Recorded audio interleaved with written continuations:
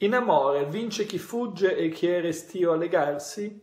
Questo video per rispondere a Bonnie che mi segue su YouTube.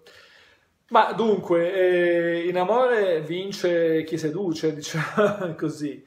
Eh, poi, chi è restio a legarsi e chi tende a fuggire, diciamo che eh, dimostra perlomeno di non essere bisognoso e, que- e, questo è un vantaggio nel, nella seduzione, nell'innamoramento, perché un maschio, ad esempio, viene più facilmente considerato un maschio alfa, un maschio che ti insegue sempre, che vuole legarsi a tutti i costi, non viene eh, reputato dalla, par- dalla sfera emotiva e istintiva come dominante, però può piacere molto la parte logico-razionale.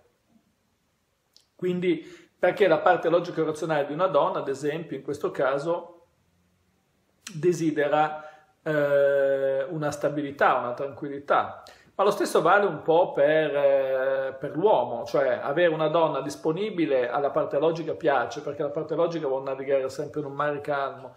Invece avere una restia che non vuole legarsi dà più un effetto emotivo. Quindi eh, poi ci sono anche persone che si agganciano su chi gli fa pressing, su chi sta col fiato sul collo, su chi dà possesso in eccesso rispetto a quanto vogliono. Quindi la regola generale è che se uno vuole 10 non dobbiamo dargli 10, o dobbiamo dargli 9 o dobbiamo dargli 11 per dire. Però certo è che eh, diciamo una persona che istintivamente, perché i narcisisti seducono? perché i narcisisti non ne fotte niente degli altri. E allora, eh, essendo centrati su se stessi, attirano perché le altre persone eh, gli fa vivere una, una distonia comunque. Eh, quindi il narcisista, ad esempio, è un seduttore naturale. Eh, è, però l'ideale non è agire in questo modo, ma è saper gestire, perché non funziona con tutti. Diciamo che da una buona, da una buona percentuale, ma eh, se vogliamo ottimizzare il tutto, noi dobbiamo calibrarci sulle esigenze delle persone con le quali interagiamo. Per cui ci può essere una persona, ad esempio, che è reduce da una serie di amori tormentati, in cui è stata ribaltata come un calzino e io se voglio entrare devo dare affidabilità, stabilità, presenza.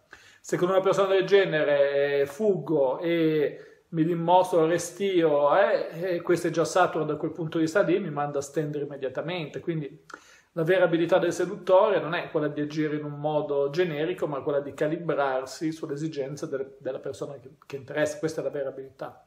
Bene, per questo video è tutto. Se ti iscrivi al canale avrai la possibilità di fare una domanda e di ricevere un video di risposta. In più, se il video ti è piaciuto, metti un mi piace e condividilo con i tuoi amici. Ciao!